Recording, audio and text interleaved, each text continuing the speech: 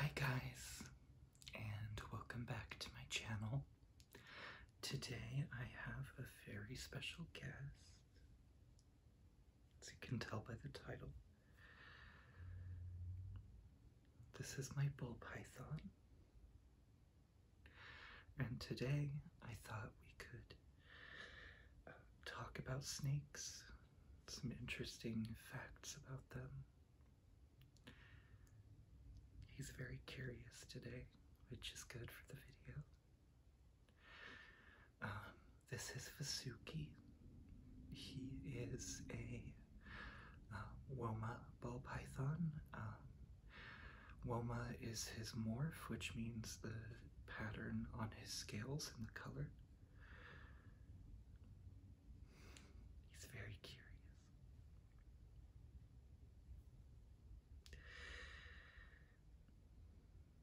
Hey, baby. He's um, a juvenile. He's about a foot and a half, maybe two feet long, and uh, he'll only get up to three feet. So um, these aren't huge snakes. Um, they are very docile. I've never been bitten by him. Um, they are non-venomous. They're constrictors, so he does still get a little freaked out if I get too close to his head. Um,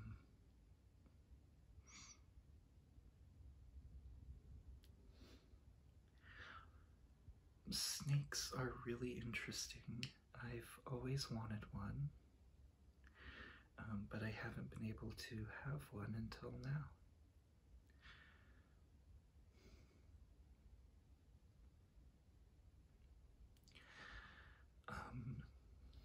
There are several different types of uh, snakes that are commonly kept as pets.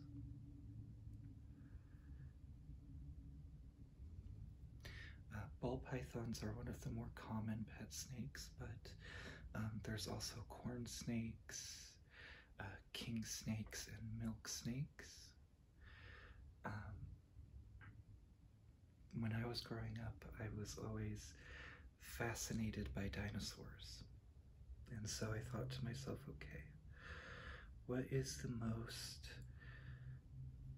prehistoric animal I can have as a pet um, besides, you know, a bird, because birds are dinosaurs? And so my boyfriend and I settled on a snake, and we were originally going to get a king snake, um, but the juvenile king snakes can be a little bit uh, more difficult to handle than this guy is. You are very energetic today. He's usually not this uh, this curious.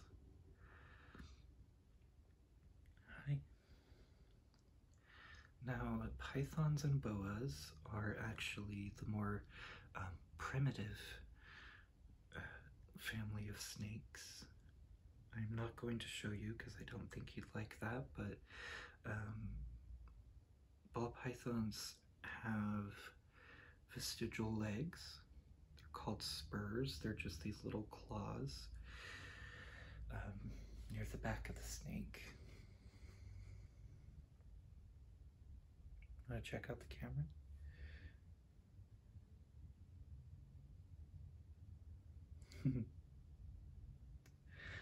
um, they're also very easy to keep if you um, can maintain their humidity.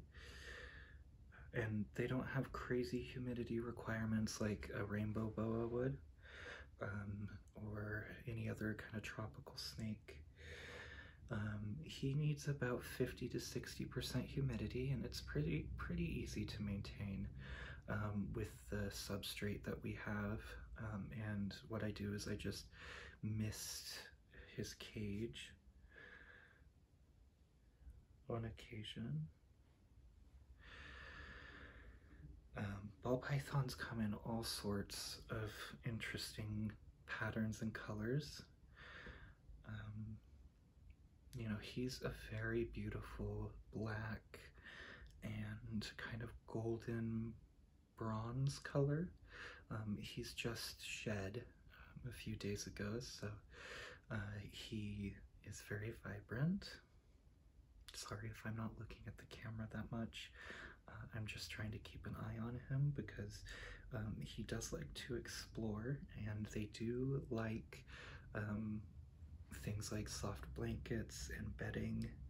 Um, and I have him on my bed right now, so um, he's very excited. Um, so I think what I'm gonna do is just give you guys some tips on if you want to keep a pet snake and uh, which pet snake might be uh, the right one for you. So as I mentioned before, um, with ball pythons, having the correct humidity is really important so that they can shed well. And he did a very good job last time. Um, it's supposed to come off all in one big piece, and that's what happened, and I'm very happy about that. Um, ball pythons, however, can uh, hunger strike sometimes, uh, meaning that they might go weeks or even months without eating um, because they can be picky like he is used to um, live rodents and um, it's usually best to do um, frozen thawed uh, rodents for them. However because he is used to them and that's what his breeder fed him that's what we had that's what we feed him he hasn't had a problem um, with them but if you do get a pet snake, just if you're going to feed them live, um, make sure that you're watching them feed. Um, because the rodents can actually bite or scratch your snake and can do some some damage and so it's best to avoid that. Um, that's never happened with him. Um, but it's always best if you are going to be feeding live rodents, uh, just to keep an eye on it to make sure that um, the rodent isn't harming your snake. Um, and so when I say they're easy to take care of, um, they only need to be fed once a week. Um, and, you know, because of that, they only go to the bathroom about once every one to two weeks. And so it's really easy to um, just spot clean his cage when he does go to the bathroom. Um, that way, you know, um, we can keep the same substrate clean and, and keep it for longer. Um, as for initial costs of buying the snake, uh, it depends on where you go. For a normal morph ball python, so just like a wild type, um, not wild caught, but a wild type uh, ball python, um, it's going to range anywhere from, I've heard as low as 25 to uh, about $60, depending on where you're living. I know some countries you can't have ball pythons um, and you can only have indigenous reptiles like um, in Australia, so you might not be able to always find one. But in the United States and uh, North America in general, they're very um, easy to find and in the uh, UK.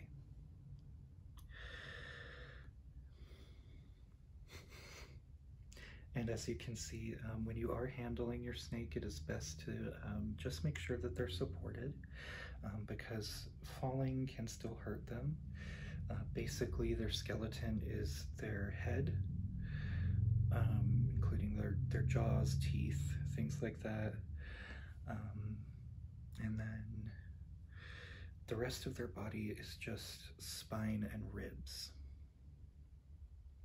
So it's very easy to um, fracture one of those ribs if they do fall. Um, so just be aware of that. It's not always going to uh, hurt your snake, but it's better not to drop them. Um, now, if you are looking for a snake where you don't have to um, miss their cage every day and um, make sure that their humidity is enough for them to shed, uh, king snakes, corn snakes, and milk snakes would probably be a better option for you. They're still very docile. Um, it's crawling around my arm like a little bracelet. Um, they are still very docile animals. Oh, okay, buddy. Don't fall.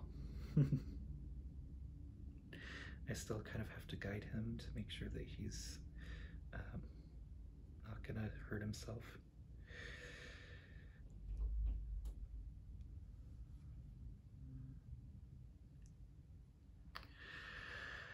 Um, and king snakes, corn snakes, and milk snakes have the same um, feeding requirements as ball pythons. Uh, it just depends on the uh, size and age of your snake. Um, it kind of, um, dictates what size rodent you're going to feed them. So him, we feed him um, one adult mouse a week, and um, soon we're either going to have to move to juvenile rats or to adult mice um, once he gets a little bit bigger. Now I do have pet rats. Um,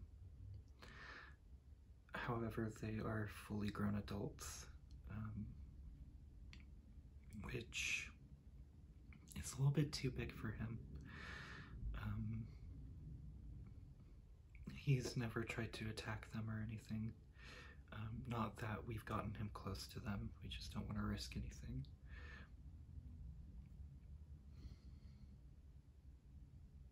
But I love ball pythons.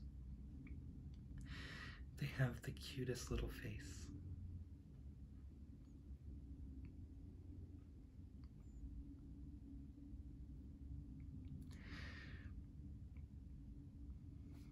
Um, in terms of their cage setup,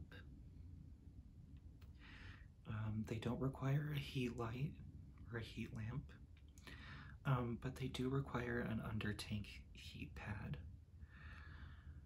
Um, it's best when they're this big to put them in a 20 gallon uh, enclosure. Um, and you need to provide them with a water dish as well as um, places to hide. They love hiding during the day. Um, and it's usually best to put one of those hides on the warm side and one of those hides on the cool side so um, they can regulate their body their uh, body heat a little bit better because they are cold-blooded.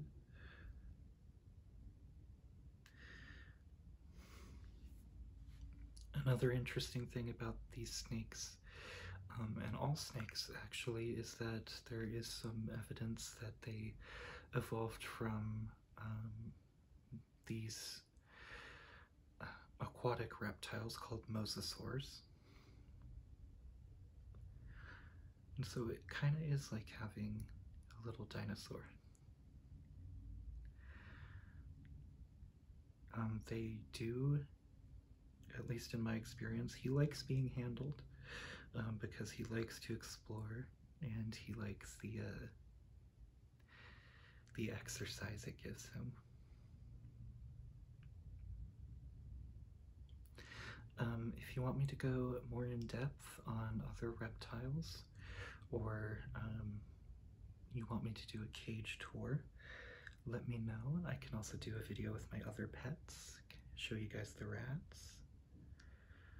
But until next time, uh, I'll just leave you with this.